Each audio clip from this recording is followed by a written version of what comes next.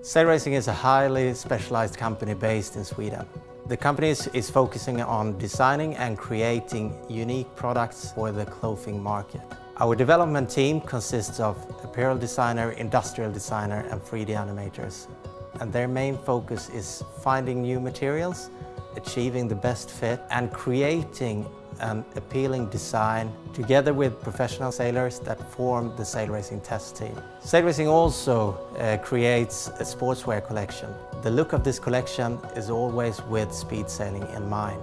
And the company is focusing on uh, developing unique products and the concept is based on our core values, which are high-tech speed sailing, innovation and testing.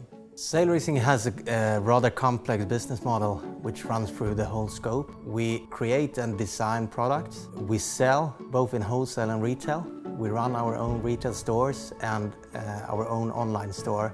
Our old ERP system didn't support us at all uh, in our business processes.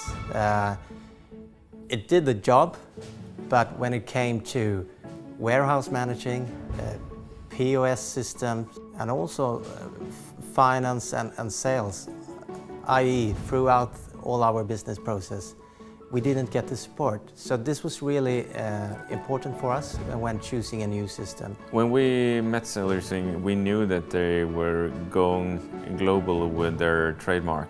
The features they were looking for in a new system was to be able to handle the warehouse, but also uh, they needed uh, a POS system and uh, of course they needed integrated financials. And we knew that Pebblestone Fashion would be the perfect match for their needs. Previously we, we struggled a lot uh, in our warehouse, so we needed a better system.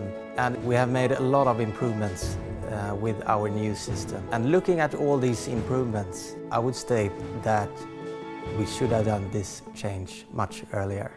When choosing NaviPro, you choose a partner that wants to work really close to the customer and uh, it took us about five months to implement the system at Sail Racing and uh, the reason for the short time was that we had dedicated consultants but also a really dedicated customer. Sail Racing has started a global journey and we're proud to be part of it.